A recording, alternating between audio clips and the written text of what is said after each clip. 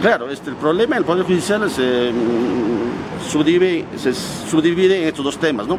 El tema netamente administrativo, que es el tema del presidente del Poder Judicial y el sistema administrativo, la forma de, de, repente de este, no resolver los pliegos de reclamo de los trabajadores, eh, temas de, este, de esta naturaleza. Sin embargo, eh, el tema de fondo que la ciudadanía reclama es el tema de la probidad en la administración de justicia. Celeridad. Los, obviamente, celeridad, eficiencia, este, calidad en los fallos, porque podemos ser muy céleres, pero muy débiles en la argumentación, en la motivación de las, de las sentencias. Lo que la ciudadanía quiere es justicia y justicia es una decisión oportuna y una decisión justa, ¿no?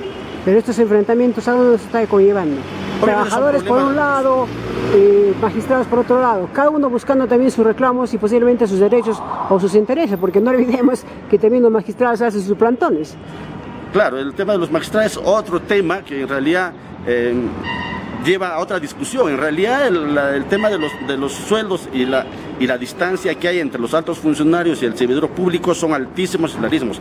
En este caso los magistrados están reclamando una homologación de una remuneración producto de una ley creo que del, del año 2008 y yo pienso que este no sé habrá que eh, debatirlo al fondo porque los magistrados de por sí ya tienen una remuneración más o menos doctor. este razonable razonable en comparación a los otros funcionarios del Estado ¿no? doctor pero no cree usted mientras en, la parte, vamos a decirle, legislativa, vamos a llamarlo acá los magistrados, y la parte administrativa, mientras se enfrentan, la población grita justicia.